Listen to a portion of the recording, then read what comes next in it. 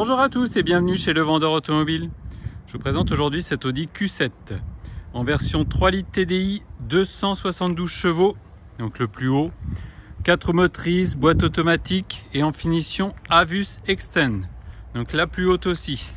On va le détailler ensemble, c'est une première main française et entretenue absolument que chez Audi.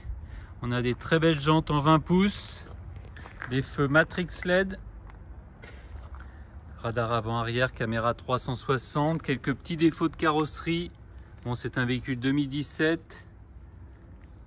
On a la boule pour toute l'assistance route, caméra panoramique, donc euh, assistance route qui comprend les angles morts, le régulateur adaptatif, lecture des panneaux. On a une petite griffe ici on a l'ouverture confort du véhicule avec alarme. Le grand toit panoramique. Et au niveau défaut, quelques petites marques sur le pare-choc arrière. Et bon, il reste quand même très propre. On va passer à l'intérieur. Intérieur en cuir noir avec beaucoup d'options. On a une porte avec un revêtement cuir et Alcantara, siège à mémoire, système audio Bose, donc siège électrique, appui lombaire, ils sont chauffants également, volant électrique, le virtual cockpit.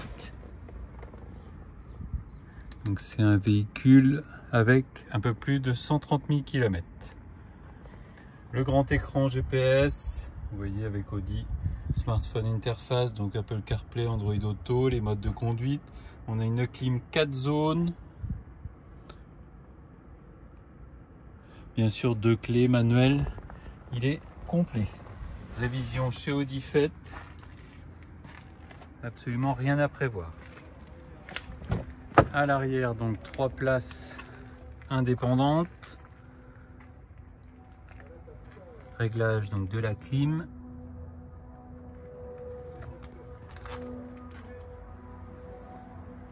Donc c'est très propre hein, à l'intérieur.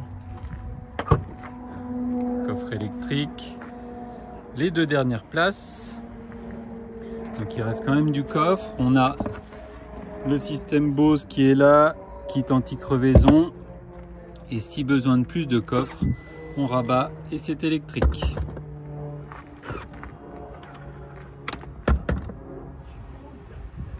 Vous voyez, ça prend pas beaucoup de temps. Et on a vraiment un grand coffre.